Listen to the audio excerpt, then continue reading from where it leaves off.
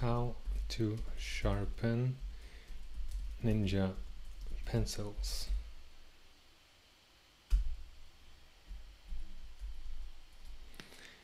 Okay, let's do this.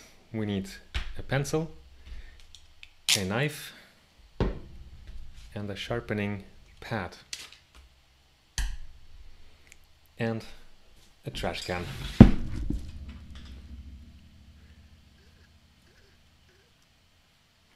Wrong direction. Here we go. So this is a sharpened point the way pencils come when you buy them.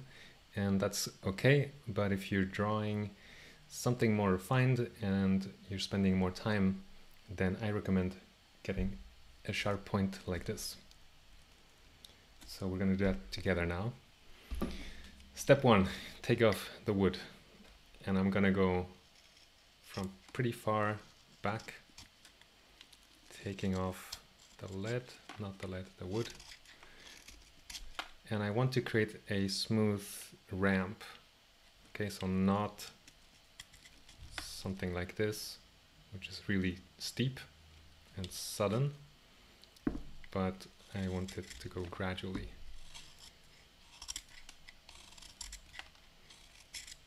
The length you choose is up to you. On a softer pencil, I would not go too long because it will break sooner or later, most likely. On a hard pencil like a 2H, you can take off quite a bit of wood. And so, two benefits of having a, a Ninja pencil, a long point like this, are that number one, you can see past your pencil and actually see what you're doing on the drawing. With a regular point, there's a lot of wood in the way. But if you're exposing the lead like this, then you can actually see better what you're doing. And number two is they just stay sharp longer.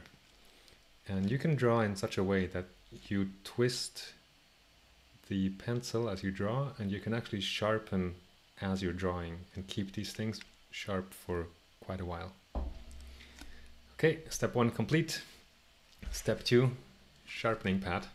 I like these that have a little padding here to wipe and clean the pencil. This one has a more abrasive sandpaper here and a less abrasive one here, or coarse and fine. I almost only use the coarse side. Some of you may have seen sharpening blocks that are like a whole block with sandpaper or abrasive surfaces on all sides. I don't like those because they make your hands dirty, which is why I also have this guy, so I can slide this in and store it like that. By the way, this is useful. I don't want to create a point like this where just the tip is sharp. I want to create a, create a point like this where it starts tapering all the way from the start. This is where the wood is. right? So we're going to do that now. And to do that, I'm going to keep my pencil pretty flat, right? Something like this as I sharpen. I don't want to have a steep angle because if I do that, I will just shorten my pencil. That's not the point. So I'm going to do something like this. And I will go back and forth, back and forth, back and forth, and then twist.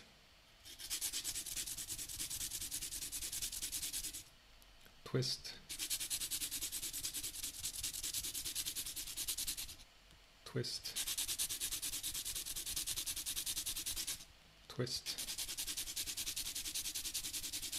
Twist. And I'm putting my pressure towards the tip. Sorry, not towards the tip. I'm putting my pressure not towards the tip, but towards the base, so where the wood is. That's where I want most pressure because otherwise, again, I'm going to shorten my point. You see also there's quite a bit of buildup. I'm going to save this over here, but you can also just tap it into the trash can.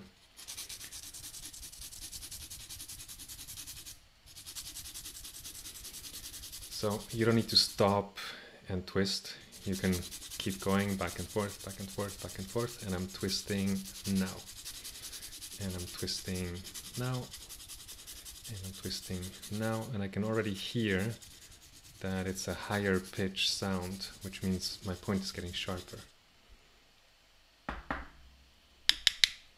And we can check by holding it up against a light surface. And it's decent. It's a bit sharp, has some facets, so I'm gonna go a bit more and turn more frequently. And I think actually I have a bit too much wood.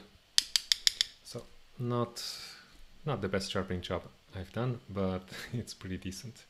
And you got to see the steps, I hope. The other one was a little cleaner, a bit longer. And don't do this right here. That was another test at the steep angle, right? It's better to have it taper continuously. And that's it. That's how you sharpen Ninja pencils.